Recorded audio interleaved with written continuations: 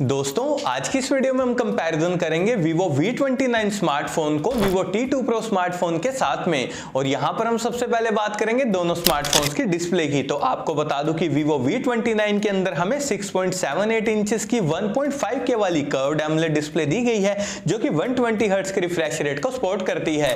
और वहीं दूसरी तरफ़ Vivo T2 Pro के अंदर हमें 6.78 इंचेस की full HD plus curved AMOLED display दी गई है, जो कि 120 हर्ट्ज के रिफ्रेश रेट को सपोर्ट करती करती है। यानी कि दोस्तों डिस्प्ले यहाँ पर भाई कंटेंट वॉचिंग के हिसाब से ना दोनों स्मार्टफ़ोन की एकदम बढ़िया वाली है, क्योंकि दोनों फोन्स के अंदर हमें कर्व्ड एमलेट पैनल मिल रहा है। भाई, अच्छी बात है, एकदम बढ़िया वाली कंटेंट वॉचिंग आपको करवा देगा। लेकिन दोस्तों, अगर आपको और भी ज़्यादा अच्छी कंटेंट वॉचिंग करनी है ना भाई, तब आप यहाँ पर डेफिनेटली वीवो वी की तरफ़ ही ज़रूर से जाइए, क्योंकि इस फ़ोन के अंदर हमें 1.5 के वाली डिस्प्ले मिल रही है। भाई, अच्छी बात है। ऑपरेटिंग सिस्टम की अगर हम बात करें तो दोनों फ़ोन यहाँ पर out of the box Android 13 के साथ में आते हैं, जो कि फ्रंट टच 13 पर बेस्ड है। भाई ऑपरेटिंग सिस्टम के मामले में तो दोनों स्मार्टफ़ोन बढ़िया है, लेकिन यार ये जो फ्रंट टच 13 यूआई हमें दोनों फोन्स के अंदर मिल रही है ना भाई? ब्लोटवेयर तो आपको देखने को मिल ही जाएँगे, इस चीज़ का आप ध्यान रखिएगा।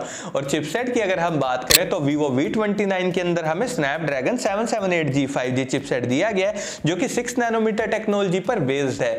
वहीं दूसरी तरफ़ Vivo T2 Pro के अंदर हमें Dimensity 7200 5G चिपसेट दिया गया है, जो कि 4 नैनोमीटर टेक्नोलॉजी पर बेस्ड है। और आपको बता दूँ दोस्तों, ये जो दोनों चिपसेट है ना भाई डे टू डे परफॉर्मेंस और गेमिंग के मामले में एकदम बढ़िया है। लेकिन यार, अगर आपको और भी ज़्यादा अच्छी वाली गेमिंग करनी है ना भाई, तब आप यहाँ पर डेफिनेटली Vivo T2 Pro की तरफ़ ही ज़रूर से जाइए, क्योंकि इस फ़ोन के अंदर हमें Dimensity 7200 मिल रहा है, जो कि एकदम बढ़िया वाली गेमिंग आपको करवा देगा।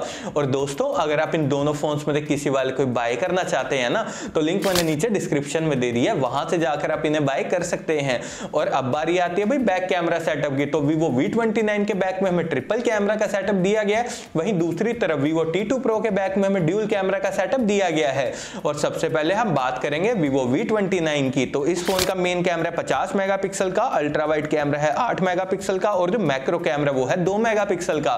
वहीं दूसरी तरफ़ Vivo T2 Pro का मेन कैमरा चौसठ मेगापिक्सल का डेप्थ कैमरा है 2 मेगापिक्सल का। और आपको बता दूँ दोस्तों, Vivo T2 Pro का जो मेन कैमरा ना भाई, चौसठ मेगापिक्सल का, भाई, एकदम बढ़िया फ़ोटोज़ आपकी क्लिक कर देगा, उसमें आपको कोई भी दिक्कत नहीं आएगी। लेकिन यार, जो उसका दूसरा कैमरा ना, दो मेगापिक्सल का डेप्थ कैमरा, भाई सिर्फ़ और सिर्फ़ यूजलेस कैमरा, इसका कोई फ़ायदा नहीं है।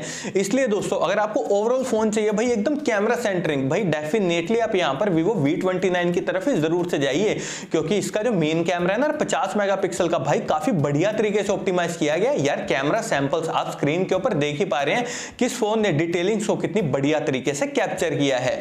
और मैक्सिमम वीडियो रिकॉर्डिंग की अगर हम बात करें तो दोनों फ़ोन के बैक कैमरा से आप मैक्सिमम फोर के तक वीडियो रिकॉर्डिंग कर सकते हैं। साथ ही वीडियो स्टेबलाइजेशन के लिए दोनों स्मार्टफोन्स यहाँ पर O I S plus E I S technology को भी सपोर्ट करते हैं। फ्रंट कैमरा की अगर हम बात करें तो Vivo V29 के फ्रंट में हमें 50 मेगापिक्सल का सेल्फी कैमरा दिया गया है, जिससे हम मैक्सिमम 4K तक वीडियो रिकॉर्डिंग कर सकते हैं। वहीं दूसरी तरफ़ Vivo T2 Pro के फ्रंट में हमें 16 मेगापिक्सल का सेल्फी कैमरा दिया गया है, जिससे हम मैक्सिमम 1080 पिक्सल तक ही वीडियो रिकॉर्डिंग कर सकते हैं। वैसे तो दोस्तों सेल्फी फ़ोटोज़ के मामले में Vivo T2 Pro भी यहाँ पर काफ़ी ज़्यादा बढ़िया है लेकिन अगर आपको बिल्कुल नेक्स्ट लेवल वाली सेल्फी फ़ोटो क्लिक करनी है, साथ ही साथ अगर आपको 4K में वीडियो भी बनानी है, भाई डेफिनेटली आप यहाँ पर Vivo V29 की तरफ़ ही ज़रूर से जाइए, क्योंकि सच में यार, जो उसका सेल्फी कैमरा है ना, भाई एकदम नेक्स्ट लेवल फ़ोटोज़ क्लिक कर देता है। और बैटरी डिपार्टमेंट की अगर हम बात करें तो दोनों फोन्स के अंदर हमें छियालीस की बैटरी दी गई है। और अगर हम बात करें फास्ट चार्जिंग की तो Vivo V29 यहाँ पर 80 वोट की फास्ट चार्जिंग को सपोर्ट करता है। वहीं दूसरी तरफ़ Vivo T2 Pro यहाँ पर 66 वोट की फास्ट चार्जिंग को सपोर्ट करता है। दोस्तों फास्ट चार्जिंग का सपोर्ट अगर आपको ज़्यादा चाहिए ना भाई डेफिनेटली आप यहाँ पर Vivo V29 की तरफ़ ही ज़रूर से जाइए।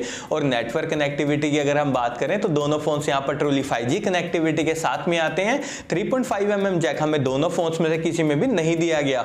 और साथ ही यार, दोनों फोन्स यहाँ पर सिर्फ़ सिंगल स्पीकर के ही साथ में आते हैं। और सिक्योरिटी के लिए हमें दोनों फोन्स के अंदर under display fingerprint sensor plus face unlock भी देखने को मिल जाता है। और अब लास्ट में हम बात करते हैं दोनों फोन्स की प्राइसिंग की। तो आपको बता दूँ कि Vivo V29 स्मार्टफ़ोन के आठ प्लस दो सौ छप्पन जीबी वेरियंट के अप्रोक्स प्राइसिंग है चौंतीस हज़ार पे।